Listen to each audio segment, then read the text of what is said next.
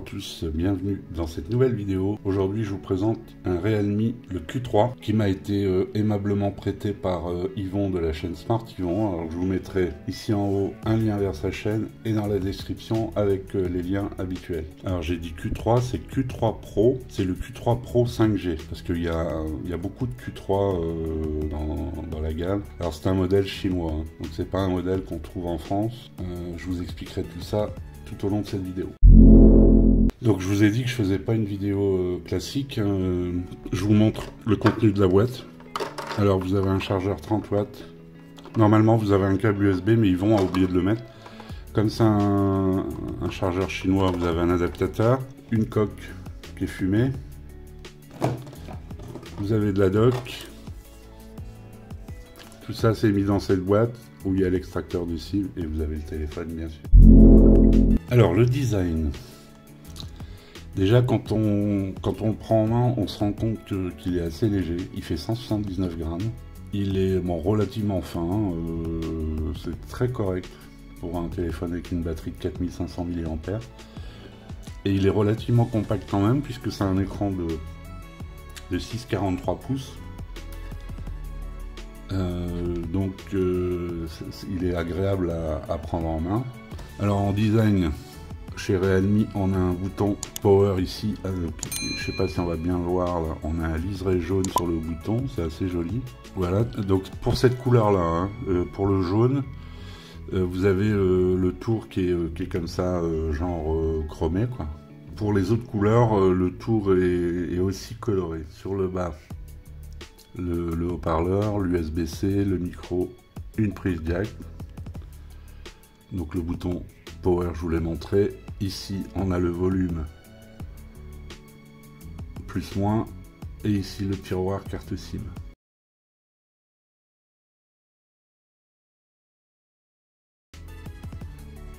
Au-dessus, on a le second micro. Au dos, voilà. Au dos avec la grosse inscription euh, d'Air qui serait, euh, paraît-il, fluorescente. Alors j'ai essayé, mais peut-être avec une lumière noire. Donc ici, c'est très discret, on voit Realme. Voilà, j'ai essayé. Voilà. Bon, le, bloc euh, photo, trois capteurs, le flash. Voilà, et devant, on a un poinçon avec la caméra, qui est pas trop gros. Donc c'est relativement discret. En haut, on a un, haut-parleur. Alors le, haut-parleur du haut, parce qu'il est stéréo cet appareil. Bon, il y a comme couleur, il y a un bleu et un gris anthracite. Euh, à part ce jaune que je trouve euh, assez joli, c'est original. Moi je trouve assez sympa, cette couleur ça change. Donc voilà en ce qui concerne le design, hein, euh, c'est relativement classique comme design mais, euh, mais c'est efficace et puis bon surtout je retiens son poids et sa compacité. L'écran, vous avez un écran Super AMOLED, c'est un écran, je crois que c'est un Samsung, donc de 6,43 pouces, 2400 par 1080 en, en, en, définition, en résolution, donc Full HD+. Vous avez un, alors il est donné pour 500 euh, nits, moi j'ai vu sur des sites 600 nits, et en pic jusqu'à 1000, 1000 euh, nits pour la luminosité écran. Pour l'extérieur, je, vais, vous mettre une, petite photo en illustration, mais il faisait pas un soleil, il faisait très clair, mais il n'y avait pas de soleil. Bon, on voit bien. Après, au plein soleil, parce qu'en ce moment, on n'a pas de soleil où je suis, ça sera peut-être un, peu juste en plein soleil. J'ai pas pu en juger. Euh. Nous avons un ratio de 85,9% de, de l'écran par rapport au, au, téléphone, ce qui est très correct. Alors, c'est un écran 120 Hz.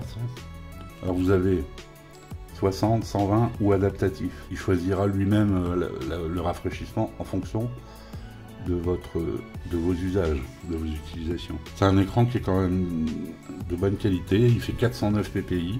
Euh, et euh, je vous ai parlé du rafraîchissement en fréquence d'échantillonnage, c'est-à-dire pour le tactile, pour la réaction du tactile, c'est du 360 Hz qui est excellent. Euh, l'écran il est assez bien, euh, assez bien calibré, il est très bien. Bon l'écran euh, il est très beau, il est très bon, il n'y a pas, j'ai pas, j'ai pas de reproche à lui faire à cet écran. Alors partie hard, hardware et software. Hardware, dedans vous avez sur ce modèle-là, parce qu'il y a un tas de modèles euh, Q3, Realme Q3, il y, a, il y, a, le Realme Q3, il y a le Realme Q3 Pro, il y a un Realme Q3 qui doit être 4G, 4G je crois, enfin avec des, des Snapdragon, tout ça. Donc ici c'est le modèle Q3 Pro 5G. Dedans vous avez un Mediatek Dimensity 1100 avec une fréquence max de 2 Go 6 gravé en 6 nanomètres. Alors je vous rappelle que le, par exemple le Snapdragon 888 est gravé en 5. La dernière puce d'Apple est gravée en 5. Ici vous êtes en 6. Le 870, je crois, euh, Snapdragon 870, il est gravé en 7, je crois. Donc c'est une excellente puce, c'est très fluide. Vous verrez, de toute façon, je vous mets ici les différents benchmarks euh, que j'ai obtenus, Geekbench, PCMark et Antutu bien sûr. Le GPU, vous avez un Mali G77 MC9. Donc pour les jeux, tout ça, aucun souci avec ce téléphone. Vous avez même un Game Center et vous avez une, ouais, vous avez un Game Center. Je sais plus où je l'ai mis. Enfin, vous avez un Game Center pouvoir gérer les jeux, etc. Donc ça c'est niveau hardware, ça j'ai pas fini. Vous avez là c'est un 8 128, c'est un 8 Go 128 Go. Donc c'est de la mémoire LPDDR4X et le stockage c'est de l'UFS 3.1. Et pareil, je vous mettrai un, test de vitesse euh, lecture-écriture en tout à l'écran. C'est excellent, c'est il est super ce téléphone, il est très fluide. Euh, ça marche, nickel. Moi j'avais testé le 430 avec un Dimensity 1000 Bon ici on est au-dessus. Hein que j'avais déjà trouvé très bien. Alors l'avantage de, ces processeurs, c'est que comme ils sont un peu moins chers que chez Qualcomm, puis c'est un processeur 5G, euh, ben, vous avez des téléphones un peu moins chers, mais avec des performances euh, supérieures. Cette gamme Dimensity euh, excellente. Pour le software, vous êtes sur Realme UI, Realme UI 2.0, vous êtes sur Android 11. vous voyez, on voit ici. Donc on voit aussi le, le Dimensity, la RAM, voilà, le modèle c'est le RMX 2205 si vous voulez chercher des infos dessus. Bon, je vous mettrai des liens dans la description. Moi j'avais testé le Realme UI 1.0, j'avais été un peu déçu, il y avait notamment des problèmes de, traduction, euh, enfin je trouvais un peu brouillon cette, euh, cette ROM. Euh, bon là je voulais tester le Realme UI 2.0, voilà, j'ai pu le tester avec celui-là. Bon c'est beaucoup mieux, ça n'a plus rien à voir. Donc voilà, vous avez un tas de réglages, vous pouvez faire un tas de, de personnalisation. Euh, voilà, je vous montre un peu euh, le nombre d'icônes que vous voulez mettre sur le bureau. Si vous voulez mettre un tiroir, hein, vous pouvez mettre un tiroir d'application si vous préférez. Euh, soulever pour activer, double tap, tout ça, un always on display. Vous avez des thèmes, des fonds d'écran, des styles d'icônes. Vous pouvez vraiment, si vous avez envie de vous, vous amuser, personnaliser à souhait ce, ce, ce Realme 8 2.0. Euh, moi je trouve vachement bien, vachement fluide, vous avez tous les réglages possibles. Évidemment vous pouvez changer de, launcher hein, pour ceux qui ont l'habitude avec un launcher. La partie software, l'inconvénient, bon là, là je l'ai préparé comme si c'était euh, mon téléphone. Vous avez énormément d'applications chinoises installées. D'ailleurs je vais vous montrer une fonction. Voilà. Là, je suis. Bon, là, il, me, reconnaît en, déverrouillage facial. Comme ça, c'est l'occasion de le voir. On va essayer le lecteur d'empreinte. Ça marche nickel, le lecteur d'empreinte sous écran. Il est super, euh, super rapide et performant. Alors, vous avez une fonction sur cet appareil qui est une fonction clone. C'est-à-dire que vous pouvez avoir deux appareils en un. Je vais vous montrer. Si je déverrouille avec ce doigt-là, parce que j'ai programmé ce doigt-là, voilà, je viens sur, euh, sur un autre bureau avec un autre mot de passe. Et voilà, bon là c'est un bureau, vous voyez, complètement vierge, que je, n'ai rien fait dessus. Vous pouvez avoir deux téléphones en un. Et euh, j'ai vérifié, si je vais dans les fichiers, par exemple si je cherche des fichiers dans ce téléphone, euh, je n'ai pas de je n'ai pas accès aux fichiers de l'autre téléphone que j'ai utilisé sur l'autre téléphone. Par exemple, les photos, là, j'ai aucune photo. Et je vais vous montrer, je vais revenir à mon système. Euh, voilà. Dès que je déverrouille avec l'autre doigt, et là, si je fais photo, j'ai toutes mes photos. Donc vous avez vraiment deux, deux téléphones en un avec cette fonction clone. Alors ne pas confondre avec le clonage d'application. Vous avez la fonction clonage d'application, mais c'est une autre fonction. C'est-à-dire que vous pouvez, comme là, j'ai deux fois Instagram. Deux fois Facebook, deux fois WhatsApp, etc. Sur le software, oui, vous pouvez vraiment paramétrer, personnaliser, paramétrer tout ce que vous voulez. Donc comme c'est un téléphone chinois, vous avez des trucs, comme je vous l'ai dit, qui sont ils sont en chinois, mais vous pouvez les désinstaller. Moi, j'en ai désinstallé la, plupart. Hein. Tout ce qui me reste, c'est ça, qui sont pas désinstallables. Mais euh, ça n'empêche pas d'installer tous les services Google, le Play Store, qui fonctionne très bien. Je crois que pour la partie software, euh, j'ai tout dit ou presque. Hein. Je veux pas, euh, je peux pas, je vais essayer de pas trop faire la vidéo trop longue. Si j'ai oublié quelque chose, dites-le moi en commentaire, je, vous le dirai. La connectivité, c'est euh, là où il y a un peu de, on va dire, de négatif, puisque c'est un modèle chinois. Donc vous avez bon, l'USB type C, une prise jack, au niveau des fréquences, vous avez du Wi-Fi 6, donc ça c'est bien. Vous avez du Bluetooth 5.1. Vous n'avez pas de NFC. Donc vous n'avez pas de, B20 sur ce téléphone en 4G. Par contre, en B, donc vous n'avez pas la B20, pardon, et vous avez la, B28A. Ça, j'ai trouvé hein, sur le site du fabricant et d'autres sites. Donc vous avez que la B28A, vous n'avez pas la B28B. Alors je ne sais pas si ça a une importance, j'ai fait des recherches mais j'ai rien trouvé. Parce que la, bande de 28 à des 700, elle a été découpée en plusieurs morceaux. Donc c'est fort possible que par exemple Free utilise la B28B ou j'arrive pas à trouver parce qu'il généralise B28, c'est tout. Par contre en 5G, vous avez toutes les fréquences 5G euh, nécessaires en France. Donc si c'est un téléphone 5G que vous cherchez, il n'y a aucun souci, vous pouvez euh, y aller tranquille. Et puis la 4G, ben, euh, il y a des endroits où vous capterez pas, puisqu'il n'y a pas que les B28 hein, utilisés, la B20, la B28 utilisés.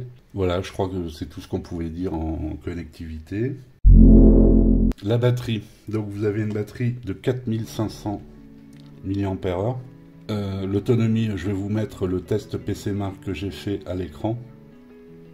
vous avez une autonomie de donc alors je vous explique comment ça marche. Vous chargez le téléphone à 100% avec PC Mark. Vous, vous le déconnectez. Alors moi je l'ai mis sur euh, auto en luminosité, je l'ai mis sur euh, fréquence adaptative. Et puis euh, le, logiciel PC Mark va faire tourner le téléphone, va faire tourner des, applications, des, il va faire des choses. Parce qu'évidemment, s'il si, laissait juste l'écran allumé, ça durerait certainement plus longtemps. Donc il fait faire des actions au téléphone pour éprouver sa, son autonomie. Et donc l'écran reste allumé 16 heures euh, et des poussières, je vous mettrai à l'écran. Ce qui est très bon, ce qui est, ce qui est, bon pour, euh, pour, une batterie de, 4500 mAh. Et bon, par contre, si vous poussez un peu plus le téléphone, la luminosité sous un fond, etc., vous, vous ferez moins. Hein. Donc ça, c'est une moyenne, c'est un comparatif, ça vous permet de comparer avec d'autres téléphones. Vous avez dedans un chargeur 30 euh, watts qu'on a vu tout à l'heure dans le déballage. Je reviens sur le, test PC Mark. Le test PC Mark va de 100% à 80%. C'est-à-dire qu'au bout des 16 heures, euh, les fameuses 16 heures, il vous reste 20% de batterie. Donc l'autonomie, pour conclure, l'autonomie est excellente. Alors le son. Le son, donc euh, je vous l'ai dit tout à l'heure, c'est de la stéréo. Vous avez euh, du Dolby Atmos sur le, sur ce téléphone, qu'il n'y a, pas, a pas la radio FM sur ce téléphone. Donc je vais vous faire écouter maintenant euh, du son.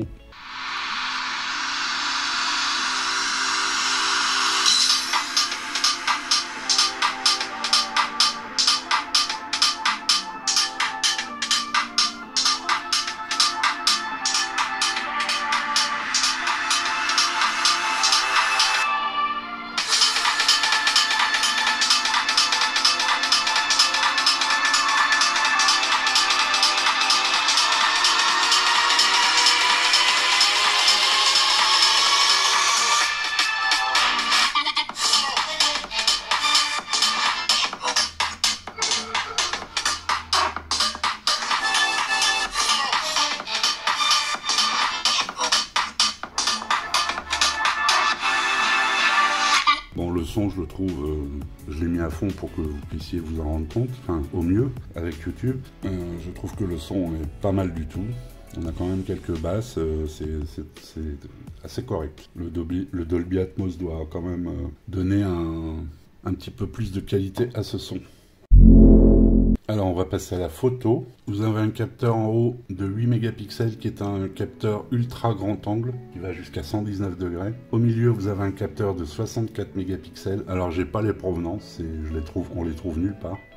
64 mégapixels donc grand angle et vous avez un capteur de 2 mégapixels pour la macro et un double flash LED. Et devant, vous avez un capteur de 16 mégapixels. Alors, euh, j'ai cru voir que c'était un Sony Exmor. Donc voilà, je vous mettrai après des, exemples photos. On va aller voir un petit peu le, logiciel photo.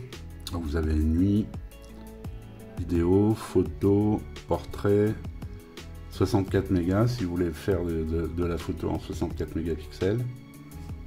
Après, dans les plus, vous avez une vidéo dual view, c'est-à-dire vous voyez devant et vous-même, un mode ralenti qui va jusqu'à 120 fps, du time-lapse hein, pour faire des, bah, time-lapse.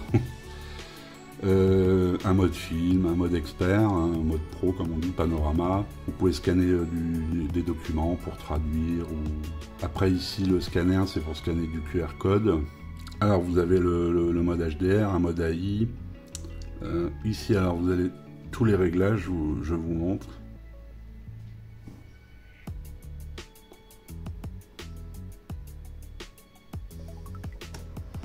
Alors, en vidéo, vous pouvez aller donc, voyez, je suis en 60 IPS, vous pouvez aller jusqu'en 4K 60 FPS, moi je dirais 30 FPS, et puis 1080, 60 et 30 aussi. Donc après, vous pouvez changer ici pouvez changer le, mode prévisualisation si vous voulez plein écran, si vous voulez carré, 4 tiers. J'avais mis en 16 neuvième. Alors ce que je voulais vous montrer, voilà, c'est ça. Donc vous avez ultra grand angle et vous pouvez aller, alors c'est numérique, hein, jusqu'à un mode 5x. Vous avez un mode intermédiaire qui doit être un 2x et ici, bon, un mode normal. Donc voilà pour le logiciel photo. Donc maintenant je vous montre des photos que j'ai fait. Donc on se retrouve euh, après pour, ben, pour la conclusion concernant ce téléphone.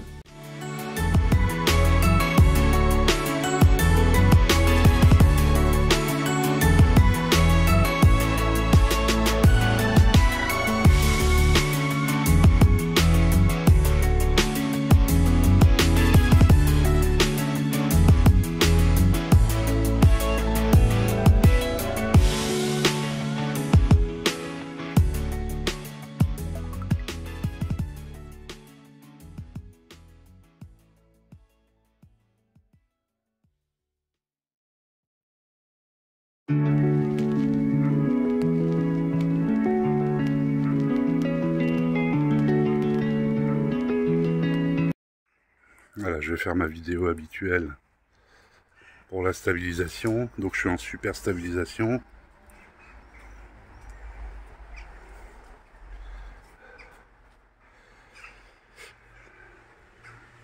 Attendu.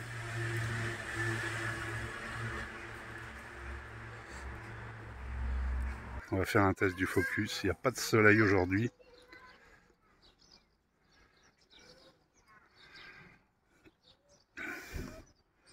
Ça a l'air propre.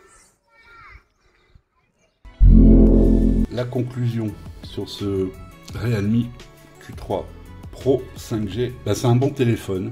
Euh, il est beau, il est, il euh, il est relativement compact par rapport à ce qui se fait actuellement euh, c'est bien pour quelqu'un qui cherche un, téléphone plus compact que, ce qu'on peut trouver euh, habituellement. Donc dans mes plus, moi je dirais l'écran. L'écran il, est bien, il est, il y a mieux hein, évidemment. On, est, on est sur un téléphone quand même à 250 euros, mais il, est, il est très bien. au niveau luminosité, au niveau réactivité, tout ça c'est super. C'est un écran 120 Hz quand même fréquence d'échantillonnage en 360 Hz. Il se déverrouille euh, hyper rapidement, que ce soit facial ou empreinte, digitale sur l'écran. Vous avez pas mal d'options de, personnalisation. Euh, donc dans la ROM, euh, la ROM est, bien complète. Au moins, ben, il n'y a pas de NFC, alors il y en a qui utilisent peut-être le NFC pour le paiement sans contact, etc.